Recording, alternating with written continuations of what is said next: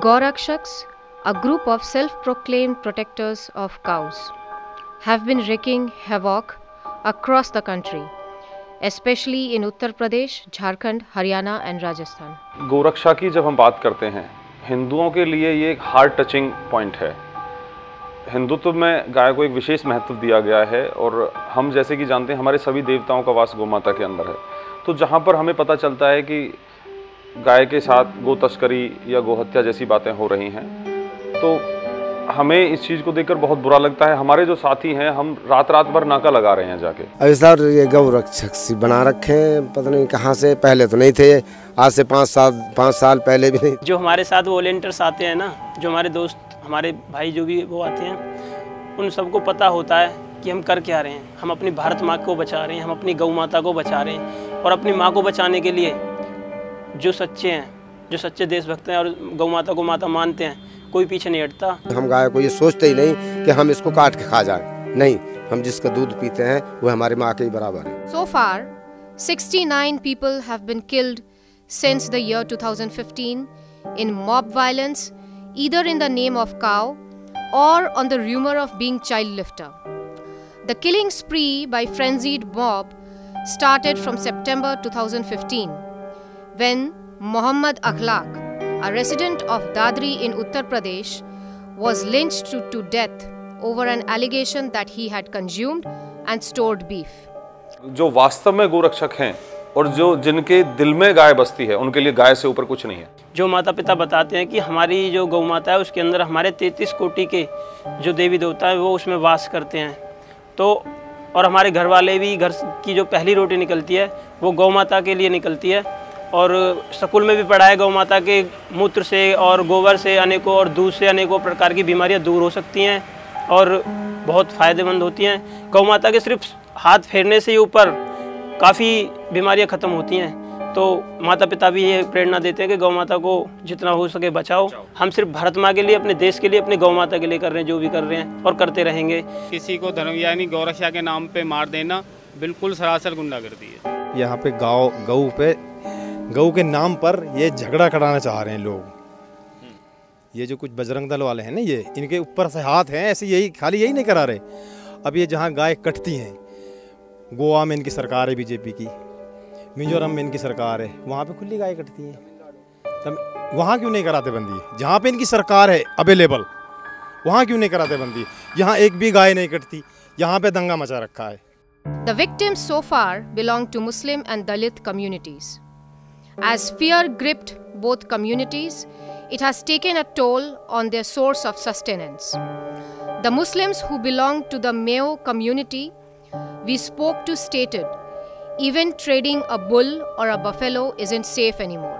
अभी एक साल पहले हमारा लड़का हमारे गांव का इतना मारा इसी बुग्गी में एक कोंडल गांव में इतना मारा उसका ये पान तोड़ दिया सर फोड़ दिया। अब बताओ इसमें ये औरत बैठी है जवार लेने के लिए जा रही है किस इन भैंसों के लिए? ठीक है? और जब वापसी आते हैं पकड़ लेते हैं। कुछ साथी मेरे आ रहे हैं और उनमें से आप देखेंगे कोई बीटेक कर रहा है कोई ग्रेजुएशन कर चुका है। ऐसा नहीं है कि वो सब अनपढ़ हैं। अच्छी डिग्री लेने के बाद वो इस फ़ील्ड में काम कर रहे हैं क्योंकि हिंदू हैं और टच रखते हैं गौ माता के साथ। तो गौरक्षा के लिए कर, कर क्या रहे हो? आप इनको बचा रहे हो? कहाँ इकट्ठा कर रहे हो? कहाँ इनकी देखभाल? किसी को ये पता है किसी को चारा डालना है दूध निकालना है? नहीं। इनको कुछ ऐसा नहीं पता कि हाँ भाई हमें क्या करना है। ये बुग्गी आ रही है। अब पीछे देखो। इसमें बैल चल रहा है। अगर इसे भी हम वहाँ ले गए और वापसी वहाँ से ला रहे हैं ए साले तू इसको ले जा रहा। बाकी हम सभी भाईचारे में हमारे जाट भाई हैं जो यहाँ हम मिलजुल के अच्छी तरह से रहते हैं खूब प्यार से। लेकिन अब पता नहीं क्यों लोग थोड़ा बहुत हमसे उलझन करने लगे। नहीं पहले नहीं था ऐसा कुछ हमारे लिए माँ है। जो हमारी माँ की हत्या कर रहा है हम उसे कैसे छोड़ देंगे?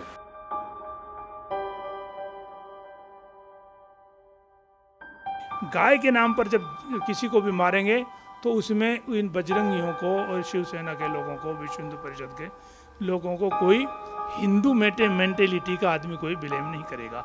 माहौल उन्होंने इस तरह से बना दिया है और ऐसा लग रहा है कि हर मुसलमान गाय का दुश्मन है। ऐसा उन्होंने एक तरह से माहौल को बना दिया है। तो वो जो है माहौल को, ये नफ़रत का माहौल बनाना एक उनका मकसद है। यानी दो मकसद हो गए। एक तो हमें जो है कारोबार को ख़त्म करना और दूसरा हमारे खिलाफ नफ़रत का माहौल पैदा करना। किसी को ये नहीं पता गौरक्षा के नाम पे, भाई, गाय कितना तो दूध दे रही है। कितना, कब तक ये आगे की होगी, कब तक दूध देगी, क्या करेगा, क्या नहीं? पर इन्होंने तो इस चीज़ में अपना एक बिज़नेस बना रखा है मिली भगत बना रखी है कि अपना ये है कि हाँ भाई आप यहाँ से लाओ और इधर ले जाओ और बस। बाकी का इनको ये नहीं पता कि अपना क्या करना है, कैसे नहीं, क्या नहीं। रात को हो जाता है भाई हम खड़े हो गए। भाई क्या कर रहे हैं? गौ रक्षा के लिए। हम ये नहीं कह रहे सरकार इनको ये कह रही है तुम मारो। ये लोगों में एक ऐसी वो भर गई ऐसी भावना भर गई राजनीति ही हिंदू मुसलमान के आंकड़े से चल रही अगर मनुष्य उनको गाय काटता हुआ दिखेगा तो मनुष्य को काट देंगे। अगर उन्हें दिख रहा है कि मनुष्य गाय को काट रहा है तो मनुष्य को काट देंगे। गाय का मांस ले जा रहा है अगर पकड़ में आया तो वो भी नहीं बचेगा। हम सिर्फ़ भारत माँ के लिए अपने देश के लिए अपने गौ माता के लिए कर रहे हैं जो भी कर रहे हैं और करते रहेंगे। गाँव में मुश्किल से दो चार गाय मिलेंगी। और नहीं तो हम तो हर घर में एक गाय रखते थे दूध के लिए। अब नहीं रखते, गाय लाएँ तो हमको पीटेंगे। और थाने में भी दे देंगे। बार बार यहाँ लोग मारे जा रहे हैं। इसका मतलब ये नहीं कि सब गाय लेने के लिए आ रहे हैं। शुरू में पहलू का जो वाक़ था, वो जयपुर से गाय खरीद के ला रहे थे। हम मौलाना हनीफ साहब, हम सब वहाँ गए। उनके गाय के जो नक्शे वहाँ के बने हुए थे, हुलिया जयपुर के, चालीस हज़ार के, कोई पैंतालीस हज़ार गाय। वहाँ एडिशनल एसपी, डीएसपी साहब, एसडीएम साहब, तहसीलदार साहब, थाने में हम अपने हाथों से वो कागजात जमा करके आए कि ये खरीदी हुई गाय है। वो जिभे करने के लिए गाय नहीं थी दूध की गाय थी। अगर कोई गाय लेके जा रहा है या तो वो अपने जो पार्षद होता है उससे लिखवा के लाए या फिर जो गाँव में सरपंच होता है उससे लिखवा के लाए। अगर वो ये चीज़ लिखवा के लाता है तो हम हम उसके ऊपर कोई एक्शन नहीं लेते। हमारे संगठन में जो गोरक्षा के संगठन है वहाँ पर मेरा और तेरा नहीं है ये सबसे बड़ी बात है। कि हमारे पास तस्करी की मैसेज आएगा कि वहाँ से गाड़ी निकल रही है। मैं पलवल में काम कर रहा हूँ एक भाई गुड़गांव में काम कर रहा है दूसरा भाई सोना में काम कर रहा है तीसरा भाई यूपी में काम कर रहा है।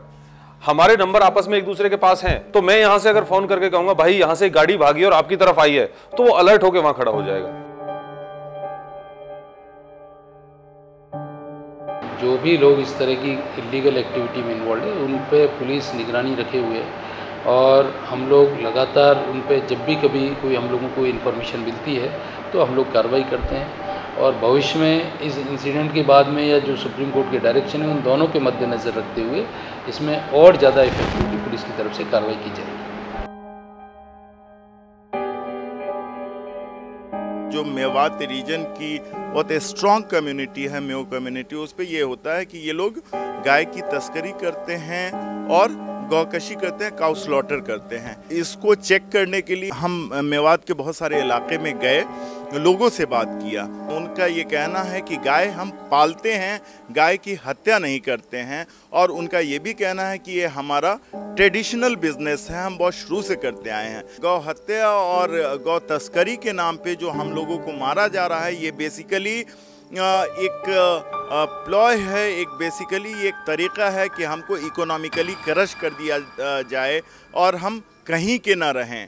तो और जिसमें बहुत हद तक कामयाबी भी मिल रही है। ये एक इनजस्टिस है और इनजस्टिस के खिलाफ हम लड़ेंगे डेमोक्रेटिक वे में लड़ेंगे, लेकिन ये जो हमारा काम है, इसको हम नहीं छोड़ेंगे, हम गौकशी नहीं करते हैं, हम गौ पालक हैं और सच्चे गौरक्षक हम हैं।